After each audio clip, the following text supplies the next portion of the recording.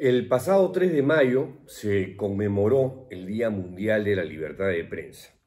Y como todos los años, Reporteros Sin Fronteras eh, propaló su informe en el que evalúa la situación de la libertad de prensa y de expresión en todo el planeta.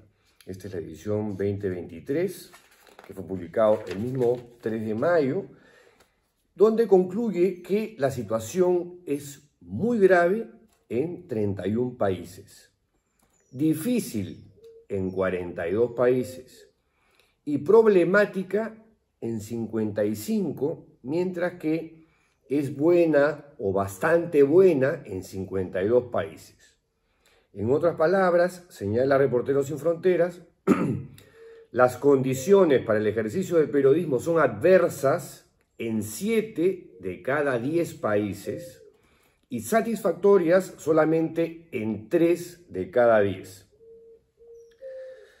Noruega se mantiene en el primer lugar, en la primera posición por séptimo año consecutivo. Y por primera vez un país no nórdico se sitúa en el segundo lugar. Y ahí estamos hablando de Irlanda, por delante de Dinamarca.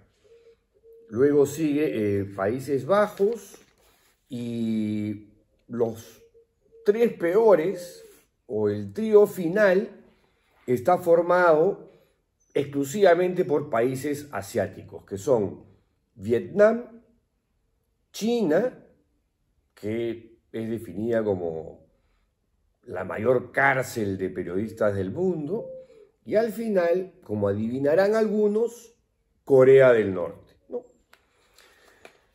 En esta edición 2023 de Reporteros sin Fronteras destaca los dramáticos efectos sobre la libertad de prensa de lo que llama la industria del engaño en el ecosistema digital.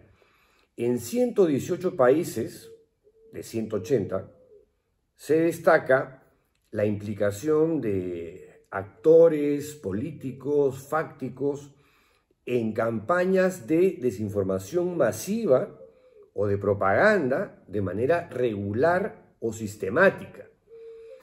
La diferencia entre lo verdadero y lo falso, dice este informe, lo real y lo artificial, los hechos y los artefactos se difuminan, poniendo en peligro el derecho a la información capacidades de manipulación sin precedentes son utilizadas para debilitar a quienes encarnan el periodismo de calidad, al tiempo que debilitan el propio periodismo.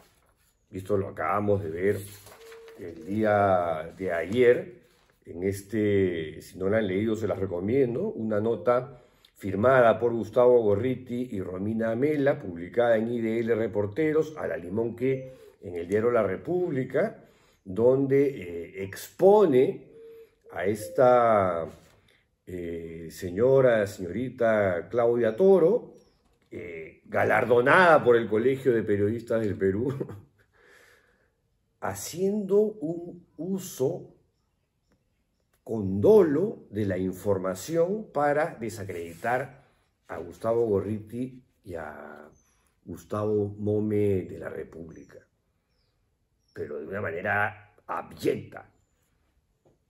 Bueno, ese fenómeno no es exclusivo del Perú por lo, por lo visto. Un dato curioso, Estados Unidos está ahora en el puesto 45, pierde tres puestos. Brasil, al contrario, escala 18 puestos debido a que ya no está Jair Bolsonaro, cuyo mandato estuvo eh, marcado por una fuerte agresividad y hostilidad contra los periodistas independientes. Eh, luego, la situación ha pasado de problemática a muy grave en tres nuevos países, Tayikistán, India y Turquía, donde el régimen turco de Erdogan ha intensificado la persecución, la cacería contra periodistas.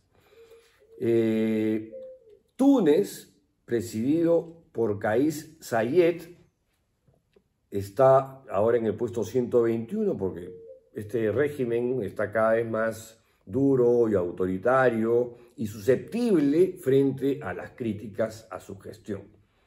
Ha retrocedido 27 puestos. En América Latina, ¿qué creen?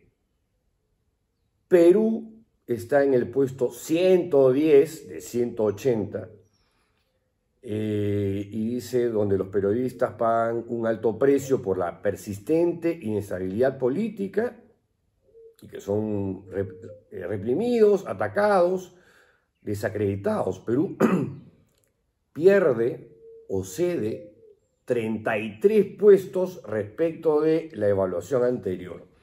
Europa es la región del mundo donde las condiciones para ejercer el periodismo son más favorables. Eh, en este combo, en este paquete europeo, Grecia ocupa el último lugar, está en el puesto 107, porque, eh, claro, en el caso de Grecia, el gobierno puso en marcha un sofisticado sistema de software para espiar periodistas, vigilarlos a través de los servicios secretos. Y eso ya lo consolida en el último puesto de la Unión Europea. Aquí está la tabla de América Latina, el que mejor ubicado está es Costa Rica, en el puesto 23, aunque ha perdido algunas posiciones. Eh, Argentina en el puesto 40, Uruguay en el 52, en el 110, reitero, Perú, y ahí nomás está en el 115 El Salvador de Bukele, que acá algunos elogian y aplauden y admiran,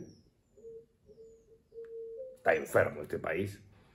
Y en el 117 Bolivia. Sobre la metodología, relata Reporteros Sin Fronteras que en los 180 países estos indicadores se evalúan a partir de una encuesta cuantitativa sobre los ataques cometidos contra periodistas y medios y de un estudio cualitativo basado en las respuestas de cientos de expertos en libertad de prensa seleccionados por Reporteros Sin Fronteras. Sobre esto, el día de ayer, la República comentó en su editorial que esto que les comento son malas noticias para el Perú, que ha descendido 33 puestos y ahora se ubica en el número 110 en el ranking. Un elemento que se suma a esta caída estrepitosa de la libertad de prensa en el Perú anota el diario La República, o de los indicadores de la vigencia de eh, las libertades de prensa y de expresión, es que algunos medios han sido parciales y poco objetivos, desdeñando la verdad para ceder paso a la versión oficial, la cual hasta el momento ha tratado de minimizar las agresiones y el excesivo uso de la fuerza en alusión a las protestas eh, de diciembre y principios de año, que ahora es graficado en las investigaciones e informes independientes que se han elaborado en organizaciones internacionales, en alusión a Amnistía Internacional, Human Rights Watch y de estas, la más importante, por el peso específico que tiene, el informe de la Comisión Interamericana de Derechos Humanos. Remata el editorial de la República diciendo seguir negando u ocultando lo sucedido no aporta a los derechos de la ciudadanía a conocer la verdad y a las libertades de prensa y expresión que hay que defender. Y ya para terminar, Augusto Álvarez Rodríguez, en su columna también del día de ayer, sobre este informe, eh, escribía que en los últimos años se han erosionado las condiciones para el periodismo, especialmente por parte de ese torpe aprendiz de dictador que fue Pedro Castillo con su banda, con Aníbal Torres como lugarteniente, con la comparsa de los congresos que crean proyectos para cercenar la libertad de expresión. La última, recuerda Álvarez Rodríguez, es la intención de imponer un 40% de contenidos nacionales avalada por la ministra de Cultura y de un poder judicial que acoge con entusiasmo cualquier atropello contra periodistas. Que tengan un lindo fin de semana. Regresamos el día lunes, si la tolerancia lo permite. ¡Chao! Hola, ¿ya sabes cómo quieres que se llame tu página web? Si tu respuesta es no, entonces piensa en el nombre que vaya de acuerdo al proyecto que tienes en mente. Ojo, no es necesario que sea un nombre corto, pero sí memorable. Por ejemplo, anapao.p o unos más creativos como yo soy.fit o estar soltera está de punto moda. ¿Ves? Las posibilidades son infinitas. Ahora, si tu respuesta es sí, si ya sabes cuál quieres que sea el nombre de tu página web, regístralo una vez en yachay.lat. Tu tienda online, hoy.